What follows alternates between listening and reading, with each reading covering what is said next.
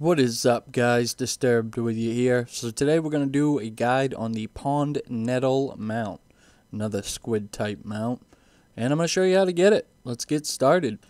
Alright, for this mount you will be fishing in Broken Isle. All the green water on Broken Isle will drop this mount.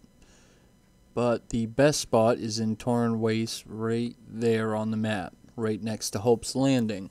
This is the best spot because you will not be killed or interrupted while the island is being attacked.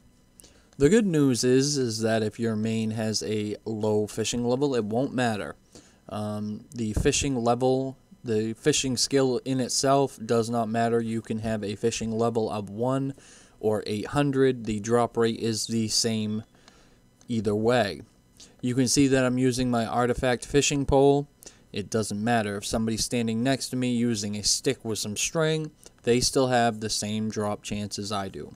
From what I was told, it's about 2,500 to 3,000 casts before you'll actually get this mount. It took me about an hour and a half of straight fishing.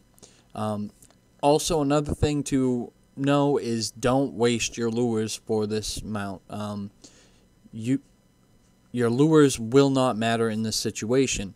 Um, so don't bother to waste them. The one thing I will say is that while you're fishing, if you have a specialty toy to change your bobber, use it. I use the tugboat so that way I could see it against the green backdrop, and that really seemed to help. Um, so if you have it, use it. And that's pretty much it, guys. Um, basically, don't cast a few times and think you're going to get it. It is a grind, like I said, two hours for me. Um, I want to try something. If you guys get this mount after watching this, please comment and say, hey, I got it. Um, if you haven't already, subscribe for the latest videos I'll be putting out and like the video. All right, thanks, guys.